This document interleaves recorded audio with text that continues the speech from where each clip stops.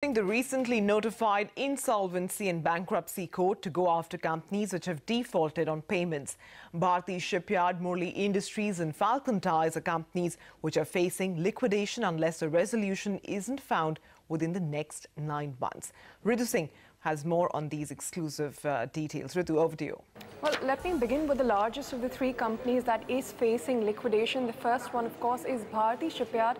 We understand that the lender consortium, which is now uh, majority owned by Edelweiss Asset Reconstruction Company, are looking to file an insolvency case under the Insolvency and Bankruptcy Code of India against Bharti Shipyard at the NCLT. Remember, uh, once this case is approved by NCLT and is admitted, really, a resolution professional will be appointed, which we understand uh, could be Ernst & Young uh, they are the ones that the banks have been in talks with.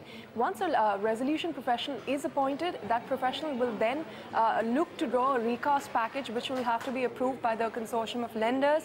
If within six months no uh, you know, resolution is found, another three months grace period may be given, but at the end of the nine-month window, the company will have to face liquidation. Remember, this six months time is crucial because it's a standstill time for Bharti Shipyard, uh, where it is already facing a number of winding up petitions from the unsecured lenders. So that is one big protection uh, that the secured lenders will get once the insolvency code, of course, uh, and this case is admitted at the NCLT. The other two companies where the lenders are also looking uh, to invoke uh, uh, insolvency cases are Murli Industries and Falcon Tyres. In fact, in these two cases, uh, petitions have already been filed at the NCLT, and Deloitte, we understand, has been appointed as the resolution professional. The same, you know, process will sort of go for these two companies as well, where within nine months, if no resolution is found, they may go for liquidation.